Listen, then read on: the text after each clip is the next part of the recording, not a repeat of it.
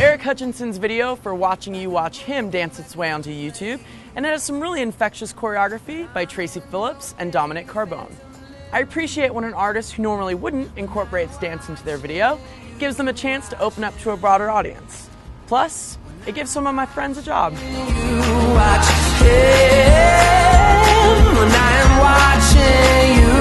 watching Bye.